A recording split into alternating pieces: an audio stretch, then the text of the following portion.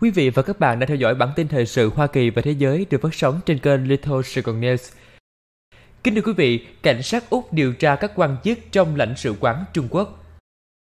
Cảnh sát Úc đã được lệnh điều tra một quan chức thuộc lãnh sự quán Trung Quốc và một cố vấn chính trị trong bối cảnh Úc đang thực hiện các hoạt động giám sát về sự can thiệp của nước ngoài vào Úc. Theo ABC đưa tin, ngày 15 tháng 9, lệnh khám xét đã được ban hành cho cảnh sát liên bang Úc để điều tra lãnh sự quán Trung Quốc ở Sydney và tổng lãnh sự quán Xuân Yantao. Ông Xuân được văn phòng các vấn đề Hoa Kiều bổ nhiệm vào lãnh sự quán. Văn phòng này trực thuộc Ban công tác Mặt trận Thống nhất là cơ quan liên lạc với các cộng đồng người Hoa bên ngoài Trung Quốc. Ban công tác Mặt trận Thống nhất được biết đến rộng rãi do có mối liên hệ tai tiếng với tỷ phú Hoàng Xiang Mua và sự sụp đổ của cựu thượng nghị sĩ Sam Dastyari. Cuộc điều tra hiện tại của cảnh sát liên bang Úc và Tổ chức An ninh và Tình báo Úc về việc liệu lãnh sự quán Trung Quốc tại Sydney có cấu kết với nhân viên chính trị của đảng lao động ở New South Wales để xâm nhập vào chi nhánh New South Wales của đảng lao động nhằm tìm cách gây ảnh hưởng tới đảng này và chương trình chính trị của đảng này hay không. Ông Trump, người hiện làm việc cho nghị sĩ Thượng viện New South Wales Southwest Mosman, đang bị điều tra bởi những cáo buộc vi phạm luật can thiệp nước ngoài năm 2018 của Úc. Theo hồ sơ, một vụ kiện do Trump nộp cho cảnh sát liên bang Úc vào tháng 8, cảnh sát liên bang Úc và lực lượng biên phòng Úc đã xem xét các thông tin liên lạc của ông Trump trên máy tính sách tay và điện thoại của ông ta với các nhà ngoại giao ở Trung Quốc và thành viên gia đình của họ. Ông Mosuman, người cũng đang bị điều tra, đã bị cảnh sát đột kích vào nhà để khám xét hồi tháng 6. Lãnh sự quán Trung Quốc tại Sydney đã bác bỏ các cáo buộc đối với họ, nói rằng các cáo buộc là vô căn cứ và đó là sự vu khống xấu xa. Vụ việc mới nhất này xảy ra sau khi hai nhà báo Úc bị buộc phải rời khỏi Trung Quốc vì vấn đề an toàn sau khi bị chính quyền Trung Quốc quấy rối. Tờ Thời báo Hoàn Cầu của Trung Quốc đưa tin rằng hành vi của Bắc Kinh đối với hai phóng viên là sự trừng phạt đối với các cuộc điều tra của chính phủ Úc về các hoạt động của chính quyền Trung Quốc tại Úc. Bên cạnh cuộc điều tra đối với lãnh sự quán này, ngày 10 tháng 9 có thông tin rằng bốn công dân Trung Quốc đã bị cấm tái nhập cảnh vào Úc sau các cáo buộc của cảnh sát liên bang Úc và tổ chức an ninh và tình báo Úc về sự can thiệp và gián điệp của nước ngoài. Hiện tại, mối quan hệ của Úc với Trung Quốc đang ngày càng căng thẳng với việc Ngoại trưởng Maurice Pence tuyên bố vào ngày 8 tháng 9 rằng người Úc không nên đi du lịch tới Trung Quốc. Úc đang muốn thoát Trung Gần đây, Úc đã theo sát Hoa Kỳ trong chiến dịch thoát Trung, mặc dù quốc gia này đã phải hứng chịu nhiều đòn cảnh báo cũng như tấn công trực diện từ phía Bắc Kinh. Khi các nhà nghiên cứu cho biết đầu tư của Trung Quốc vào Úc đã giảm với tốc độ nhanh hơn rất nhiều so với các nước khác. Căng thẳng Úc-Trung đã gia tăng kể từ năm 2018 khi chính phủ Úc cấm Huawei và một công ty viễn thông Trung Quốc khác ZTE xây dựng mạng 5G của Úc, một quyết định rất hợp lý mà đã bị Huawei trực tiếp chỉ trích trong một bài đăng được Trung Quốc trả tiền trên New York Times. Thật ra, Úc đã sớm nhận ra bản chất hung hăng, ngang ngược của Bắc Kinh và quá trình lạnh nhạt cho đến xa cách của hai quốc gia đã diễn ra được một quãng thời gian. Bắc Kinh trả đũa bằng việc tấn công vào nền kinh tế Úc Đầu tư của Trung Quốc vào Úc đã giảm gần 50% mỗi năm do mối quan hệ giữa Canberra và Bắc Kinh đang ngày càng xấu đi.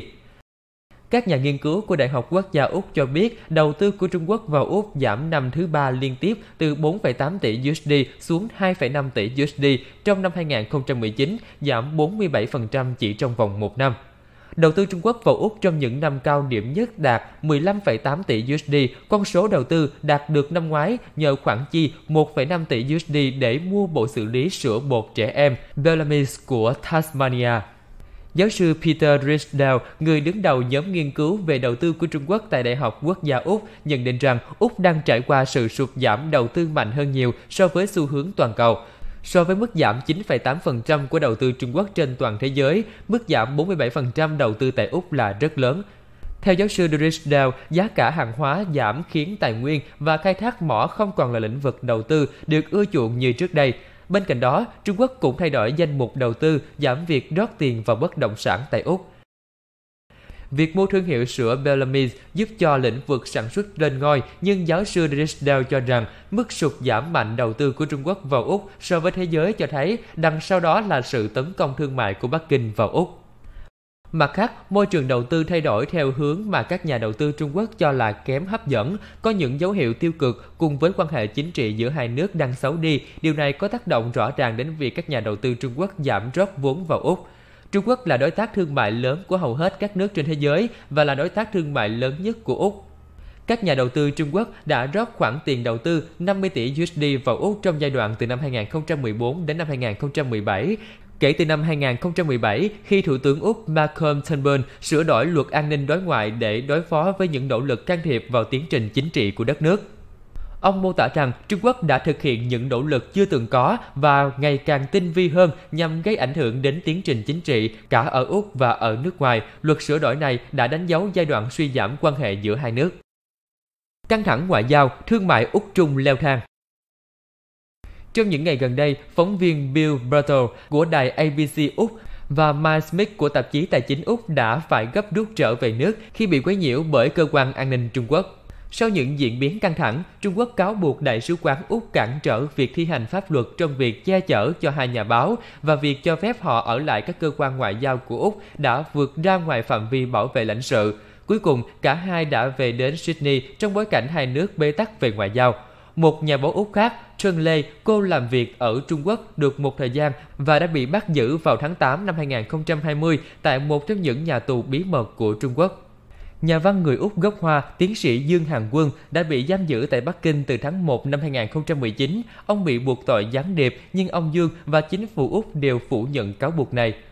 Một ngày sau khi Butler và Smith trở về Sydney, truyền thông nhà nước Trung Quốc cáo buộc cơ quan an ninh Úc đột kích và thẩm vấn các nhà báo Trung Quốc đang làm việc tại Úc. Ngoài việc đầu tư sụt giảm, quan hệ thương mại giữa Úc và Trung Quốc cũng xuất hiện những khó khăn mới. Trong những tháng gần đây, Trung Quốc liên tiếp mạnh tay với các hàng hóa nhập khẩu từ Úc, bao gồm thịt bò, lúa mạch và rượu vang.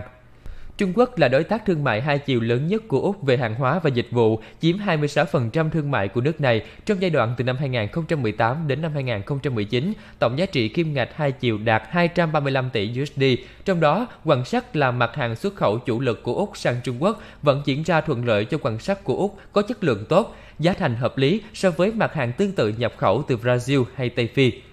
Úc đã thức tỉnh trước một Bắc Kinh ngang ngược đầu tháng 9 năm 2020. Chính phủ Úc đã giới thiệu dự luật quan hệ đối ngoại táo bạo, một đạo luật sẽ cho Canberra quyền tham gia và hủy bỏ các thỏa thuận mà các trường đại học và cơ quan chính phủ của Úc thực hiện với các bên ở nước ngoài. Mục đích của nó là để ngăn chặn ảnh hưởng của Bắc Kinh trên khắp nước Úc với những hạn chế thương mại của Trung Quốc và những lời đe dọa được đưa ra để đáp lại dự luật quan hệ đối ngoại, Thông điệp từ phía Bắc Kinh rất rõ ràng, nếu chỉ trích hoặc thách thức chúng tôi về mặt chính trị thì túi tiền của các vị sẽ bị ảnh hưởng. Mới đây, Bắc Kinh đã đình chỉ nhập khẩu lúa mạch từ nhà xuất khẩu ngũ cốc hàng đầu của Úc với tuyên bố rằng sâu bệnh đã được tìm thấy trong nhiều lô hàng. Đây dường như là cuộc tấn công thương mại mới nhất của chính quyền Trung Quốc đối với hàng xuất khẩu Úc. Bộ trưởng Tài chính Matthias Cormann cho biết, sự thật là các sản phẩm ngũ cốc của Úc và các sản phẩm lúa mạch của Úc được đánh giá cao trên toàn thế giới. Ông khẳng định thêm rằng nếu có ít cơ hội xuất khẩu ngũ cốc chất lượng cao của Úc vào Trung Quốc, thì sẽ có nhiều cơ hội xuất khẩu ngũ cốc sang các thị trường khác trên thế giới. Xem ra đây là cơ hội tốt để Úc từng bước thoát trung, dù quá trình của nó không mấy dễ dàng. Bản tin của chúng tôi xin được kết thúc tại đây. Cảm ơn quý vị đã luôn quan tâm và theo dõi. Xin chào và hẹn gặp lại quý vị trong những bản tin kế tiếp.